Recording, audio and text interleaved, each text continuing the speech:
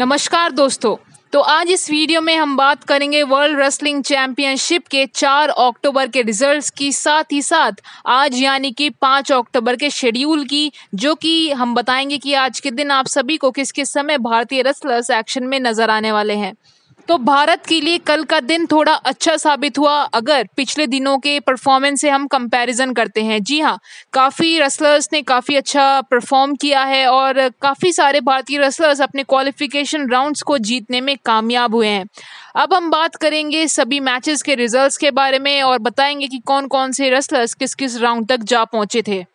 तो सबसे पहले बात करते हैं संगीता फोगाट के मुकाबले का। उनका क्वालिफिकेशन राउंड में जर्मनी की रेसलर से सामना था। जी हाँ लेकिन संगीता ने क्वालिफिकेशन राउंड काफ़ी आसानी से अपने नाम कर लिया और वो प्री क्वार्टर फाइनल्स में जा पहुँची।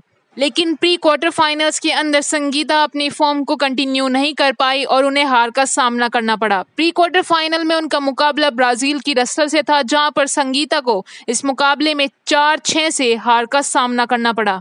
वहीं संगीता के अलावा अगर एक और महिला रेसलर की बात करते हैं तो वो रही पिंकी उन्होंने काफ़ी ज़बरदस्त प्रदर्शन किया है कल के दिन। उन्होंने अपने बात करते हैं qualification round pre quarter final quarter final जीत कर सेमीफाइनल तक जाने में वो कामयाब रही थी। लेकिन सेमीफाइनल में उनका मुकाबला जर्मनी की खिलाड़ी से था, जहाँ पर उन्हें हार का सामना करना पड़ा। लेकिन आज के दिन पिंकी आप सभी को अपना ब्रॉन्ज मेडल मैच खेलती हुई नज़र आएँगी। उसके अलावा भारत की ओर से कल सुशील भी एक्शन में नज़र आए, लेकिन वो अपने मुकाबले को दो पाँच से हार गए और यहीं से ही बाहर हो गए। वहीं सुशील के अलावा सत्यवर्त कादियान भी कल एक्शन में नज़र आए, लेकिन उन्हें भी कोरिया के रेसलर ने हरा दिया और वो भी यहीं से ही बाहर हो गए। वहीं अब बात करते हैं कल के दिन के आखिरी मुकाबले की, जो कि था रोहित का repechage round Rohit repechage round में जीतने में कामयाब हुए, जिसके लिए वो ब्रॉन्ज मेडल मैच के लिए क्वालिफाई कर गए। आज उनका ब्रॉन्ज मेडल मैच था और उन्हें मंगोलिया के रसलर से हार का सामना करना पड़ा, जिसकी वजह से रोहित ब्रॉन्ज मेडल जीतने से चूक गए और भारत को अभी तक एक भी मेडल इस चैंपियनशिप में नहीं मिला है।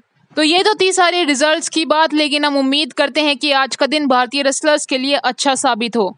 तो चलिए, अब बात करते हैं हम आज यानी के पाँच अक्टूबर के शेड्यूल की, जो कि इंडियन स्टैंडर्ड टाइम में रहने वाला है। तो आज के मुकाबले भी दोपहर दो बजे से ही शुरू हो जाएँगे जो कि रहने वाले हैं 50 किलो 53, 65 और 76 किलो के वुमेन्स फ्री स्टाइल के क्वालिफिकेशन राउंड्स उसके अलावा दो बजे से ही 70 केजी और 97 केजी के मेंस फ्री स्टाइल के रेपचेज राउंड्स होंगे.